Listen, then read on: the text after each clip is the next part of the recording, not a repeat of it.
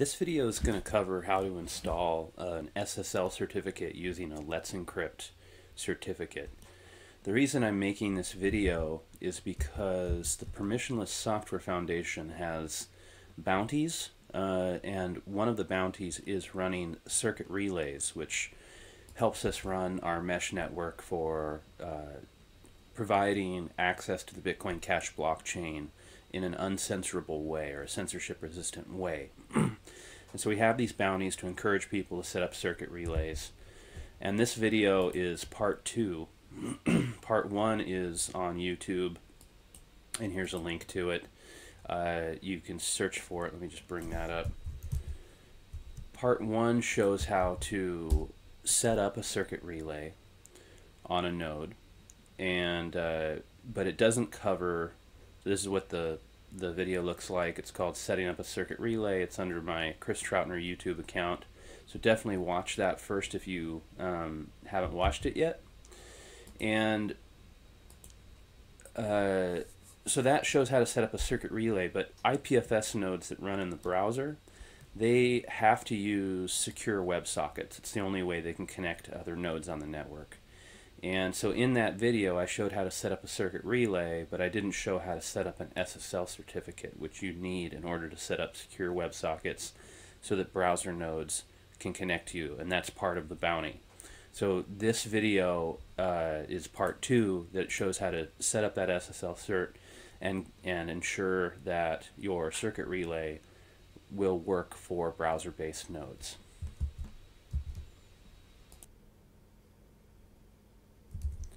So there's so the first part of this video is to watch part one and after you've done that you should have a circuit relay node running. So here I've got a circuit relay node running in on a VPS in the cloud.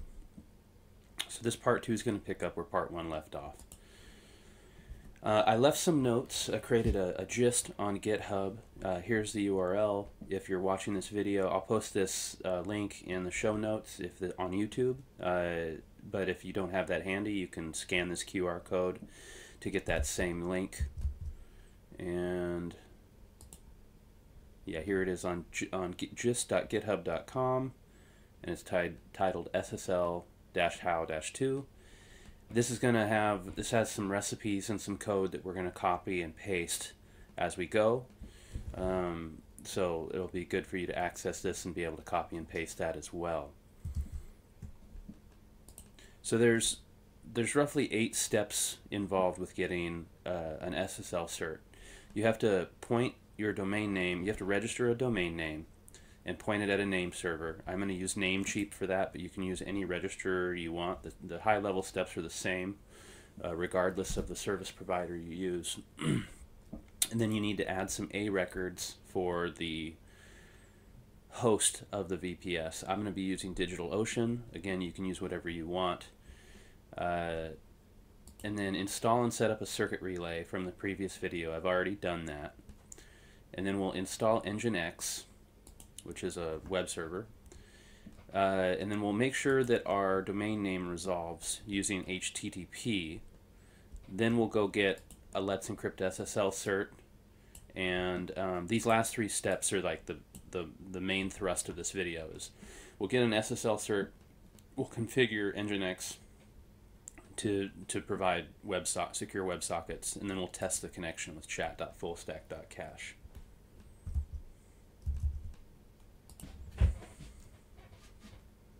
So let's jump right in. So as I said, I use Namecheap as my as my uh, domain registrar and I'm going to use this bchd.nl domain name. This is left over from a previous project that I had that I'm not using anymore. You can use any domain name you want. I like to use the .nl domain names for test for sort of prototypes like this when I don't care what the domain name is. Uh, they're cheap to register and they're they're cheap to renew. A lot of these domain names like .cash they might be cheap to register, but then they're like three or four times the price to renew the next year. So I like the .nl they're pretty cheap. And so if you use uh, Namecheap, you can find your domain and you can go to uh, like manage domain.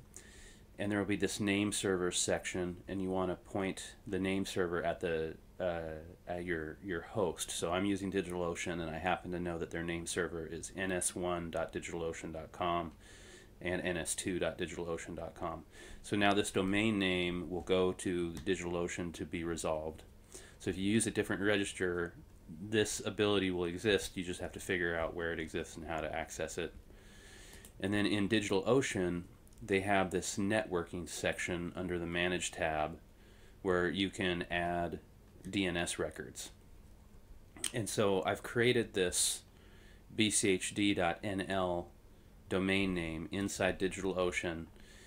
And these first three records were provided for me, and I added these two A records. um, so there's different types of records, A, you know, AAA, CNAME. These are the most common ones, TXT records. All you really need are these two A records. This first one, I use the at symbol and see how it resolved to the, that means like the domain name in total. And then I click there to put this IP address in. That's the VPS that I actually want it to resolve to. And then the star uh, is a wildcard. So, like if someone types www.bchd.nl, it'll resolve to bchd.nl. So that's that's what these two A records do. So again, this process is a little different if you don't use DigitalOcean, but at a high level it's the same. But the actual implementation is going to be a little different outside the scope of this video. So uh, the point is to have uh, the domain name point to uh, an IP address. That's that's ultimately what you want to get to. So I've done that, and here is the node running uh, the circuit relay. So if, uh, I can get rid of that get docker. So I've got my IPFS service provider running as a circuit relay. In fact, if we, uh, it's, it's running as a Docker container in this example.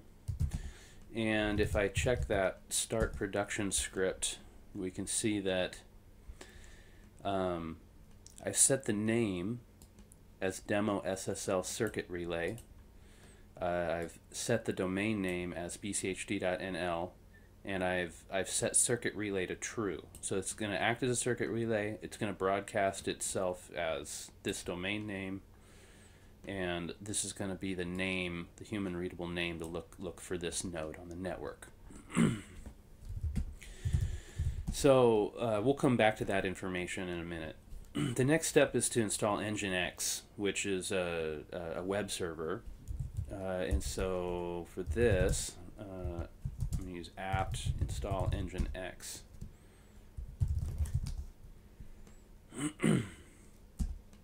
and just like in the last video, I'm on an Ubuntu 18, or maybe this is Ubuntu 20 machine. This is the standard operating system that all the permissionless software, foundation software targets. Okay, so Nginx is installed, and I've already got the IP address of this uh, VPS set up. So let's just make sure that Nginx is going to serve a web page, and it is. So we so after we install Nginx, we now get this sort of Nginx welcome uh, message and now that we've done that, let's try and see if the domain name will resolve. So this is using HTTP and not HTTPS, and it's going to be bchd.nl.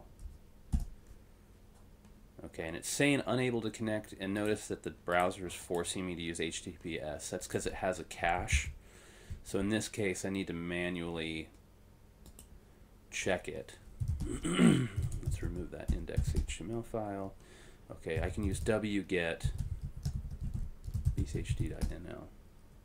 So I got an index file back.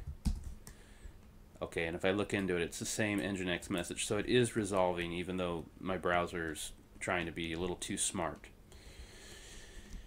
And so that's that's what you want to see. You want to before you move on, you want to make sure that this resolves, that, that the, the domain name is, is resolving with just the typical HTTP. If, uh, if that's not happening, then, then do not move forward because the, the rest of the Let's Encrypt stuff will not work. You need to have an HTTP uh, page resolving. In fact, let me just try another browser. this is what you can do too if, if your browser ends up giving you giving you problems. I don't want that. Okay, let's go HTTP bchd.nl. Okay, there we go. Now it resolved, and it didn't have the cache, so I didn't have the same problem. So again, this is that you want to make sure that that if this comes up, if you put in that domain name and this comes up, that means that you've completed the first couple steps correctly, and that you've got your domain name pointing at your name server, and you've got your name server resolving to these A records, which is successfully pointing to the VPS, which is serving Nginx. So this is basically the basic prerequisite. You got to get to this first before you install an SSL cert. Okay, so we've we've completed these four steps. so the bulk of this exercise is in these last four steps. And so we've ensured that the domain name resolves, so now we can get an SSL cert. So this is where my notes on, let's close this window. This is where my notes on uh, on this GitHub gist are going to come in. So we, we've already installed Nginx, and the file that Nginx is configured with is in etc nginx sites available. Let's take a look at that. so these hash signs are uh, are comments, and there's some of these areas that are uncommented out. If we were to copy and paste this and remove all the comments, this is what we'd end up with. This is what's actually in that file. So it, let's read through this real quick. It's it's serving port 80, which is the standard for a web page. It's serving the files from this directory, and it's serving some combination of index.html and this underscore is like a wildcard. It's like some some server. We haven't defined what the what the domain name is. It's just gonna if it sees something port 80, it's gonna answer it. And so these try files, it tries the requested URI. If that doesn't work, it tries the URI with a slash, and if that doesn't work, it bails out with a 404 error. So that's essentially what this uh, Nginx config is doing for us right now, and this is what we're gonna gonna ultimately edit um, so we'll skip past this for a minute. We need to install certbot. Now these, this is like a recipe that we're to follow. Let me go ahead and start getting this started here. So I'm starting to install certbot and this uses Python and it changes a little bit over time. So it's currently October 30th, 2021. If you're watching this and a significant period of time has passed, it uh, this recipe may change slightly. Uh, namely, like sometimes these libraries, uh, you have to add libraries or upgrade the libraries.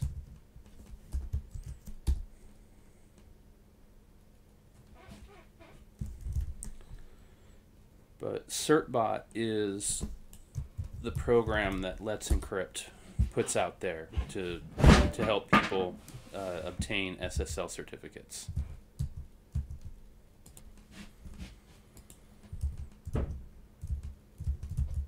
Okay. Zope. Okay, now we can install certbot.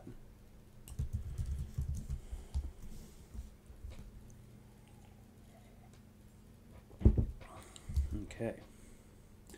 And this will just test that certbot's installed correctly. Okay, so we've got certbot 1 version 1.20 installed. So now um, so in these examples, replace yourdomain.com with your domain.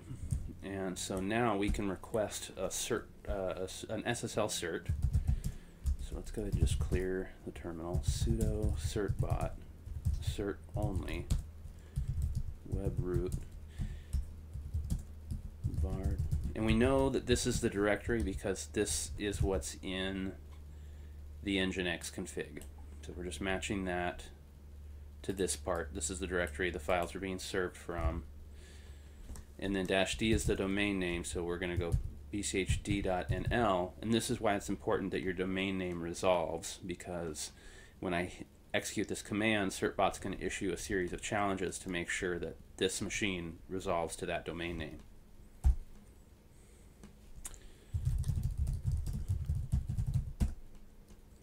Uh, yes, I agree to the terms. No, don't send me spam. Now it's doing those challenges. Uh, successfully received certificate. Here's where the private key and the certificate live. Those are going to be handy. We're going to use those in a minute. And so now that we have successfully gotten a certificate, we need to create a couple configuration files for Nginx. So if I go back into the engine, uh, etc. Nginx directory, there's the sites available, which is where that default config file is, and then there's um, is the snippets directory and we need to add a couple files in here. There's already a couple files in there. So um, oh, one other thing is we got to create a key pair. So just copy and paste this command, and it's going to create a key pair and store it in this file in this directory, and that's fine. Uh, so now we need to create these, um, create this file ssl yourdomain.com.conf. Let me see if I can position this. Okay, so, and you got to use sudo to have root access. And I'm using the nano text editor, ssl uh, bchd.nl.conf. And I'm going to copy these two lines into it. And I'm going to replace yourdomain.com with the domain that I'm using bchd.nl bchd.nl okay. Um, okay so that's that file. That looks like it's been correct. This basically points to those the private key and certificate that we just got from Let's Encrypt and then next I need to create this SSL params conf file and I just copy and paste this code in here. I don't need to edit it. Okay, so that that sets up uh, that basically configures our, our SSL certificate. So now we can go back into the sites available, which is where this default config file is, which again is just is just this code. Uh, uh, if we were to remove all the comments. And we're going to edit that file and we're going to make it look like this. And basically it's the same config file. We just added these two lines which set, sets up port 443 which is HTTPS and we add the two um, the two config files that we just added. In fact, we might as well change the server name to bchd.nl. Let's go ahead and copy. So what I'm going to do is I'm going to move that default file, which we know works,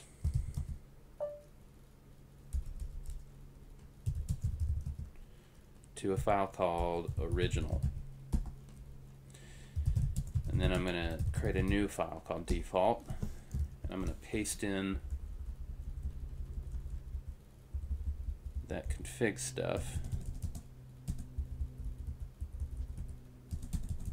Can see I need to edit this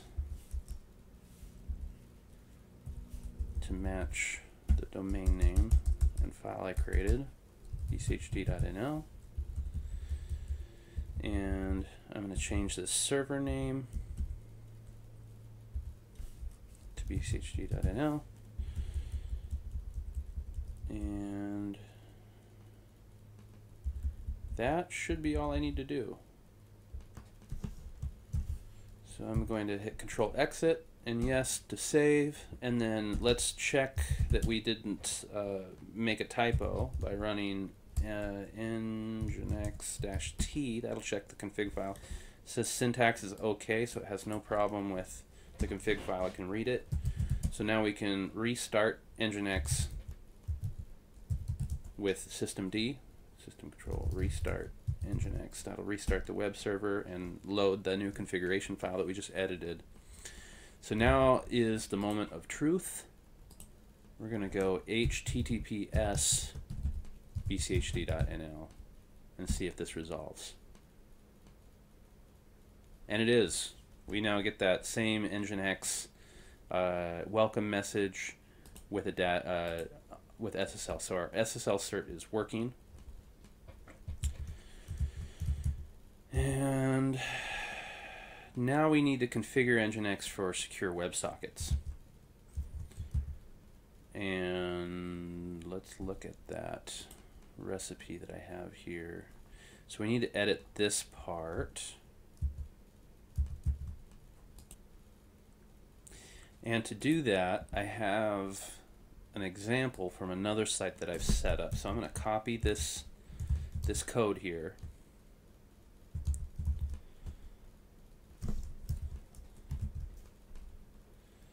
And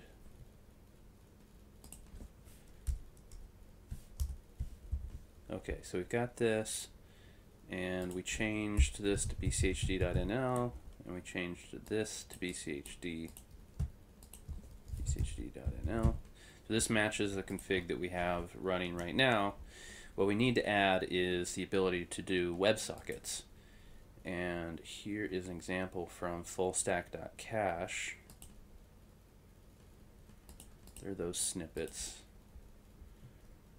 And it's this right here where we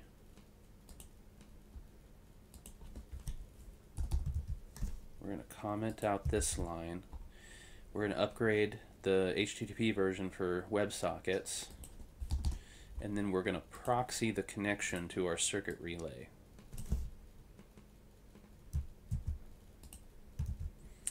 Oh, and then this little snippet here,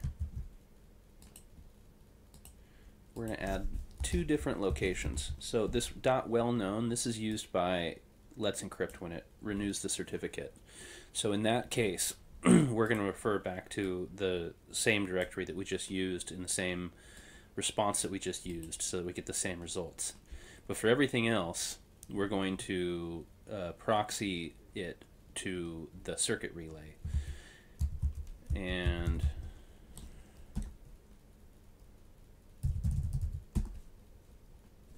sudo apt install net tools this if config command, you need to install that nettools in order to look at the IP addresses that this VPS is using.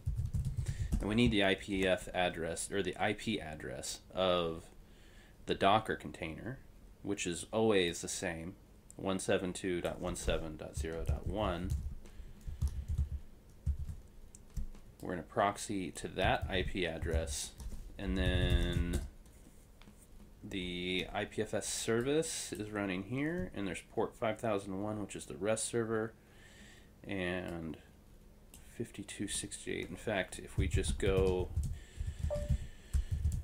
into the Git repository, production, Docker, this start production script is what's set in our WebSocket port is 5269. So we need to proxy to that port.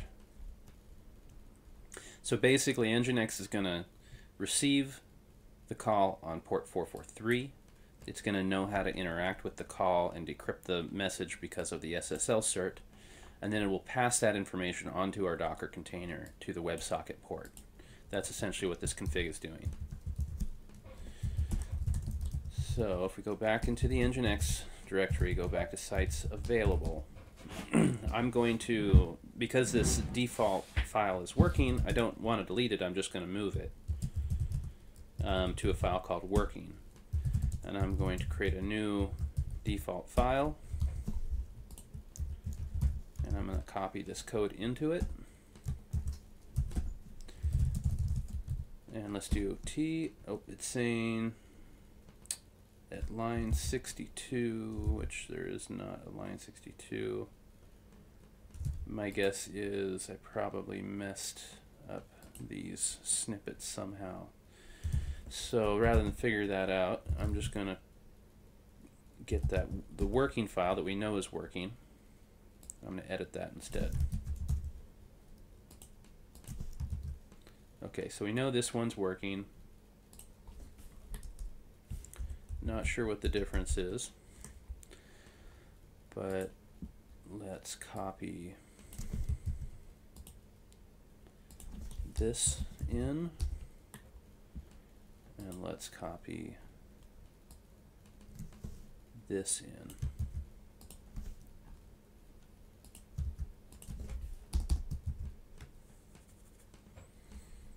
Okay, those should be the only changes we need.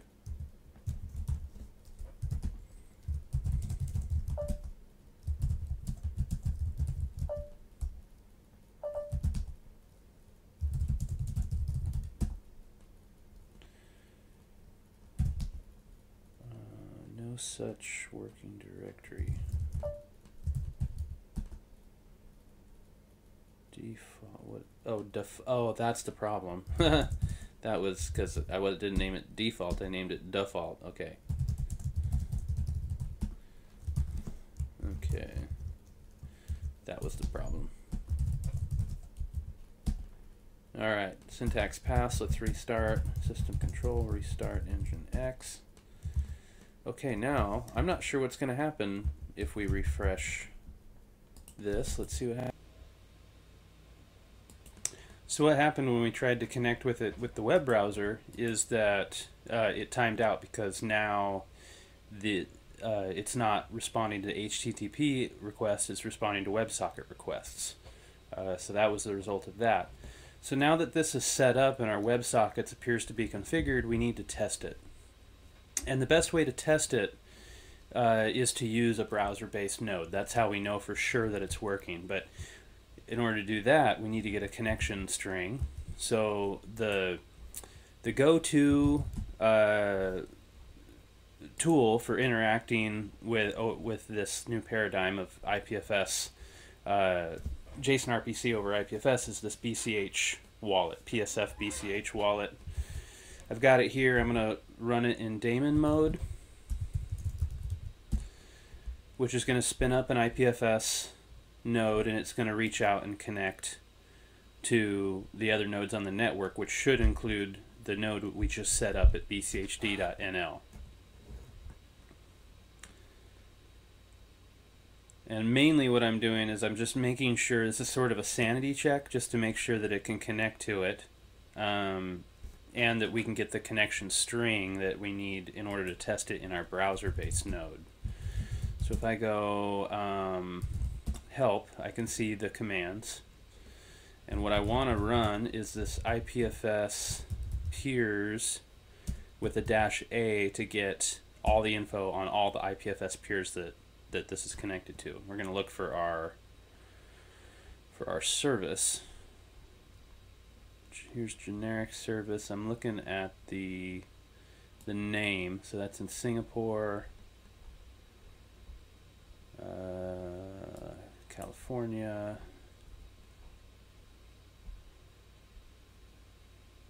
Demo. Demo SSL circuit relay. That's what we set up.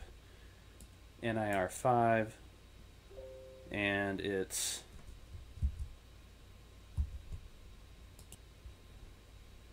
advertising itself. Let's see. Node.js. Here we go. Advertising itself as bchd.nl. TCP port is 5268. Um, so where is that actual connection string? Well, we know that we know that uh, here's the IP address, this is the domain name, and here's the VPS that is running the actual circuit relay. We know what ports it's using here. And in fact, just to confirm that port 5269 is in fact our WebSocket connection, we can go into the GitHub repository and go to the Docker container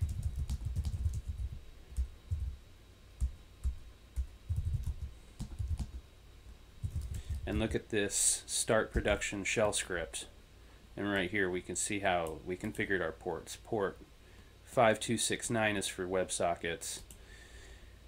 this is another gist that uh, of, of other circuit relays that are known, so we can just kind of follow these multiaddr patterns. So for example, here is, uh, and again, if you want to take a look at this one, this is not linked in the in the main gist, but it, it's under my Chris Troutner gists called PSF Circuit Relays. Uh, IPFS Coord actually downloads this. Um, it's like a second bootstrap. And so we can just copy one of these browser-based multiaddrs and sort of piece together what we know about ours. So we we set ours up at uh, bchd.nl. The TCP is going to be 443 because that's that's secure, uh, and then it's going to be the WebSocket, and we need the IPFS address of our node, which we can get from our Docker container. Uh, let's see, we're going to use the IPFS service, and it's reported at the top, so we're going to pipe it to the head command and look at the first hundred lines.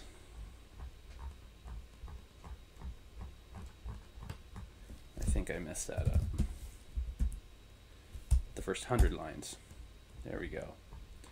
So this is what it reports when it's first starting the node up. It reports its multiaddrs and there's its IPFS ID, NIR5 so we're going to replace this.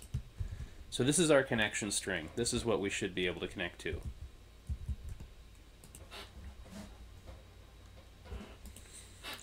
So if we go back to our gist for these directions, uh, we're now down in this section called test the WebSocket connection. So we managed to piece together this this uh, multiaddr that we need to connect and uh, if we follow the link to this gist, which I have, well, let's just follow the link to this gist, the second gist. This is a HTML file that will open when you open it in your browser. So basically, you just copy and paste this content into a file with a .html extension, and then open it in your browser. It will uh, create a browser-based IPFS node. Oh, that's the same gist. And that's what I've got running right here. This is what it looks like when you open that file. It'll spin up an IPFS node and then it'll put the ID of that node right there. And you can interact with the IPFS node with this node variable. So if I go await node swarm peers, the node is currently connected to nine different IPFS peers. Now we can try to connect to our multiaddr over WebSockets with await node swarm connect and then enclose the multiaddr in, in double quotes. If it works, it should come back with undefined, just like that. But if we now look at our list of peers, we'll see that we're connected to 10 nodes now, and there is our node, NIR5. So we have this this was the test. This successfully this proves that we successfully set up WebSockets and a browser-based node can connect to it. If there was a misconfiguration and this was not configured properly, I happen to know that uh, let's see, this Singapore node is not configured correctly. So this is going to return an error. So let's just look and see what it would look like if we try if, if we were not configured correctly and, and a browser node could not connect. It would be await node swarm connect and then so if it was not able to connect it'll return a bunch of error messages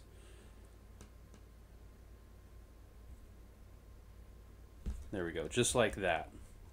It'll say, can't establish a connection, da da da da da. So this is what you'd see if it's not configured correctly. Uh, if the multiaddr was wrong or you had this IPFS ID wrong or your Nginx config was configured incorrectly, uh, all these things would would not work correctly. Or you know you, you'd get it, all those all those types of misconfigurations would give you this error. So so if you see this, you just have to work backwards and try and figure out what's causing it.